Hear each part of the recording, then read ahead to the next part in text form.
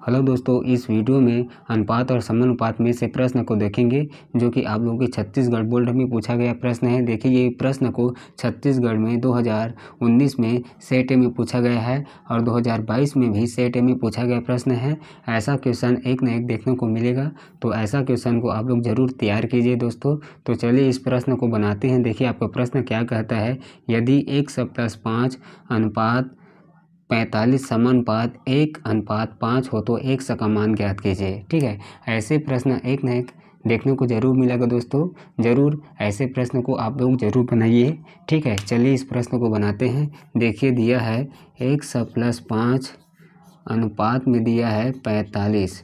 फिर उसके बाद दिया है समानुपात एक अनुपात पाँच दिया है। इसमें एक से का मान निकालना है तो देखिए अनुपात का अर्थ होता है, उसको डिवाइड में लिखेंगे।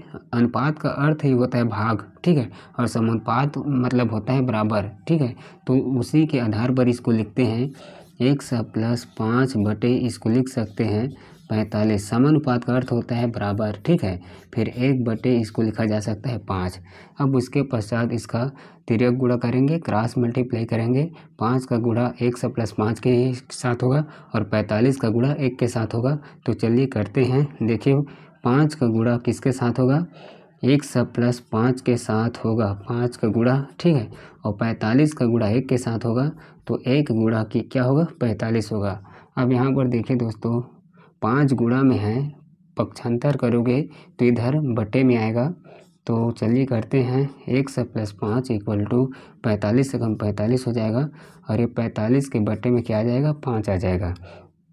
अब इसको कटाएँगे, पाँच से कम पाँच पाँच नया पैंतालीस, अर्थात ये नौ बार से कट गया ठीक है? अब देखिए, एक सौ प्लस पाँच इक्वल टू नौ बचा ठीक है? अब एक सौ का मान निकालना है, पाँच को इधर पक्षांतर कीजिए तो एक से इक्वल टू नौ माइनस पाँच हो जाएगा, ठीक है? तो एक सौ का मान यहाँ से मिल जाएगा चार, नौ में पाँच घटेगा तो चार आ जाएगा तो इस प्रश्न में एक सौ का मान क्या मिला? चार मिला, ठीक है दोस्तों?